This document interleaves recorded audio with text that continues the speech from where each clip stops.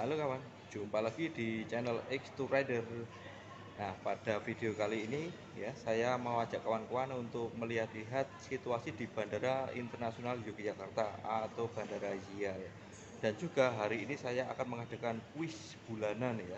Bulan September ini untuk tiga buah kaos ya. Jadi satu orang pemenang akan mendapatkan satu buah kaos untuk tiga orang.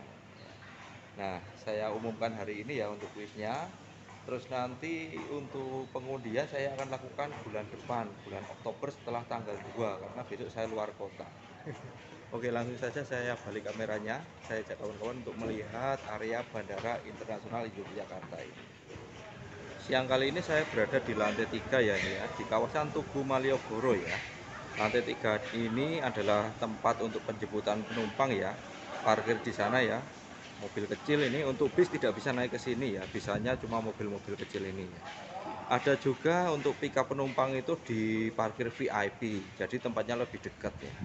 Nah tapi kalau kita parkir di VIP kita tidak akan bisa melihat kemeriahan uh, tempat komersial yang ada di Bandara Zia ini. Nah ini dia. Beberapa sedang direhab ya direnovasi ya.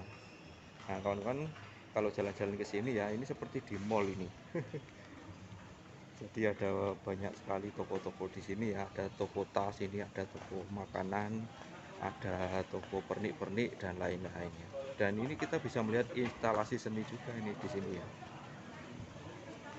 Nah untuk Bandara Zia ini ya Bandara Zia ini diresmikan oleh Pak Jokowi ya dua tahun yang lalu eh, sekitaran Agustus 2020 ya Nah, bandara ini merupakan bandara pengganti ya. Kalau di Jogja itu kita cuma dulu ya sebelum ada bandara iya ini kita punya bandara Adi Sucipto ya. Tapi bandara Adi Sucipto itu ya kecil sekali ya.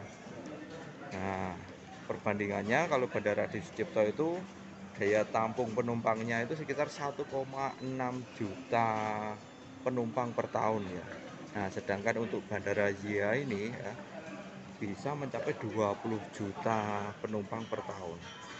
Nah di depan kita itu adalah stasiun kawan. Nah ini stasiun KA Bandara ya. Nah kalau kawan-kawan turun ke Bandara Zia ini ya kawan-kawan bisa pesen dulu atau booking dulu kereta bandara ini ya yang akan membawa kawan-kawan langsung ke jantung kota Jogja yaitu di stasiun Tugu Yogyakarta. Nah ini dia Nah untuk jadwalnya ini kawan, saya perlihatkan ya jadwal untuk kereta bandara. Nah ini, ini kawan. jadwal kereta api bandara ya Yogyakarta International Airport. Nah, dari dia ke Wates sampai Yogyakarta, mulai pukul 7 sampai pukul eh 7 pagi sampai pukul 7 malam. Hampir setiap jam akan ada kereta yang berangkat. Tapi kawan-kawan harus uh, cek dulu ya untuk tiketnya apakah available atau enggak ya. Biasanya penuh ini karena cuma murah ya. Murah sekali uh, sekitaran 20.000 untuk tiket kereta bandara ini ya. Nah bandingkan kalau kawan-kawan ambil taksi ya. Taksi dari Zia ini sampai ke jantung kota Jakarta Yogyakarta itu sekitaran berapa ya? 250 sampai 350 Nah ini kita di kawasan Tugu Malioboro. Ini ada ikon kota Jogja ya Tugu. Tugu kota Yogyakarta. Dan di bandara ini Sudah tersedia juga hotel ya. Ini tadi transit hotel. Hotelnya satu Dudi satu malam ya. Satu malam sekitaran 400 ribu ya untuk deluxe room. Namanya Hotel Cordia. Cordia Hotel bandara ya. Nah ini kawan. Sangat berguna sekali kalau kawan-kawan punya transitan ya. Transitan eh, yang membutuhkan waktu untuk menginap beberapa jam. Nah itu atau juga kalau pesawat kawan-kawan datang eh, kemalaman ya kawan-kawan bisa langsung transit di hotel ini dan menunggu besok pagi untuk melanjutkan perjalanan ke kota atau perjalanan dengan pesawat yang lain. Nah ini instalasi seni yang ada di Bandara Iya ini nah.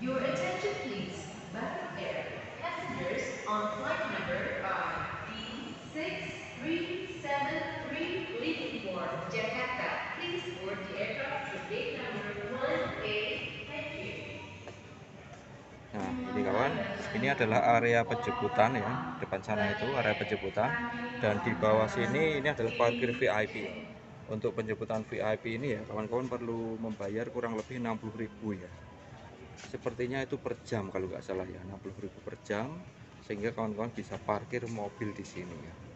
Kalau tidak ingin membayar tarif segitu ya dengan tarif eh, parkir biasa kawan-kawan bisa datang langsung ke parkiran di lantai tiga tadi ya kawan ya tapi nanti nanti penumpang itu harus jalan ya dari sana jalan terus naik lift ini naik lift jalan sampai ke sini.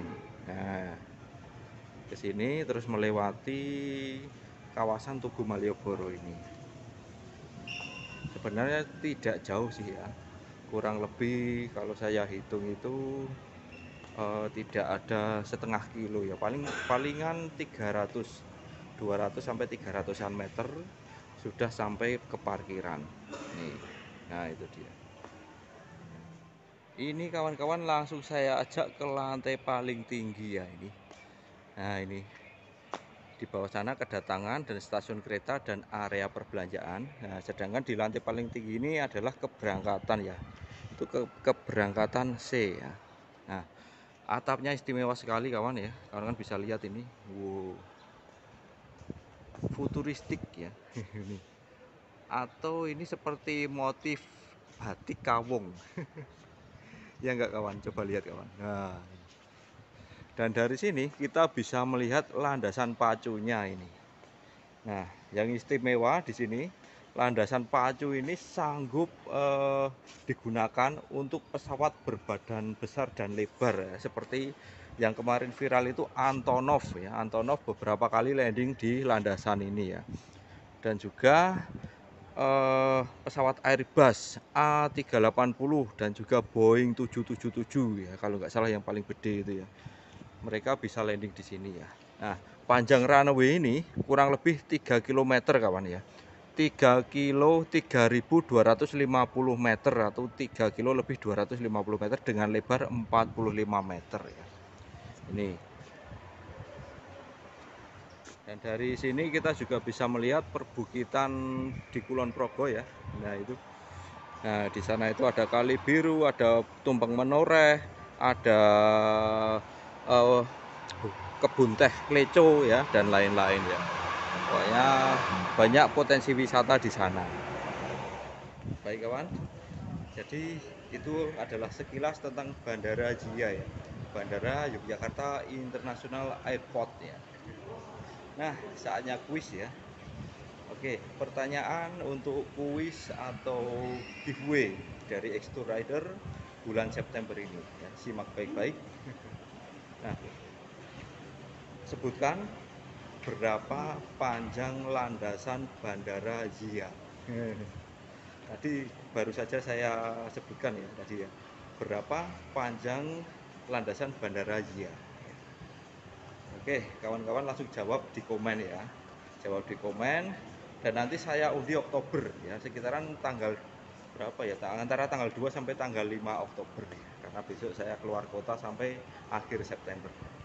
Nah seperti itu kawan ya. Jadi monggo kawan-kawan yang mau ikut giveaway yang belum dapat kesempatan kaos dari X2 Rider bisa langsung jawab di komentar. Oke terima kasih kawan. Saya cukupkan sampai di sini dulu video kita kali ini ya. Pokoknya saya akan selalu doakan agar kawan-kawan bahagia selalu ya. Sehat selalu dan diberi rezeki yang melimpah.